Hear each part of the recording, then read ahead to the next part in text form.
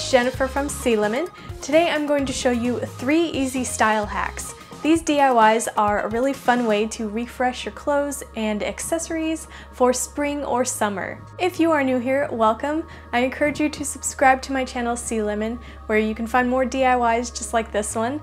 And for more inspiration and behind the scenes kind of stuff, follow me on my social links and hit that like button if you want to see more life hacks or other kind of hacks.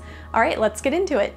First up, here's how to update your sunglasses with a spring floral pattern. Using a few colors of nail polish, I'm going to make some roses on these sunglasses, but they could also kind of look like cherry blossoms. First, I'm going to lay down some spots of blue, and this is totally freehand. It's supposed to look more organic, but if you put the color in the right spots, it could look like those sunglasses came that way, as if the floral pattern was printed on them then some light blue next to those to look more like leaves, and pink nail polish to make the flower shapes. And you want to let each color dry before you put another color on top of it. Then some burgundy on top of those flowers to add some dark spots. After that dries, then add some light pink to highlight the petals on the flowers. And add dots to make rosebuds. You can also repeat that on the arms of the sunglasses. Then you have some cute floral shades for the spring or summer. Next up, here's how to turn a tank top into a tote bag. This is great for those tank tops that you no longer wear, or if you find one at a thrift store for like a dollar, this is a super cheap way to make a tote bag. Fold the tank just like this and you'll see that the arms become the handles. Then fold it inside out and lay it flat, and then we're going to cut strips on the bottom of the tank. Cut through both sides of the bottom, making strips that are about 1 inch wide and 3 inches long.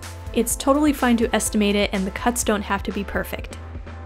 Then tie both sides of the strips into a knot. And do that to each pair of strips. Then turn the tank inside out, and now you have a tote bag. You could leave it just like this and use it as is, or you can add a design onto it. I'm going to add a pattern in the middle to disguise that seam from the tank top. To draw this on, I'm using fabric puffy paint.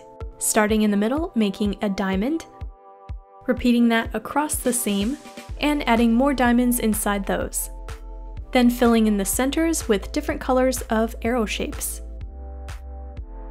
After the paint is dry, now I have a fun tote bag made from just a tank top and a cool pattern with puffy paint. The next hack is an easy way to update your plain shirts with a summer-inspired graphic. I wanted to bring this dark shirt out of the winter and into the summer with some sort of graphic on the top.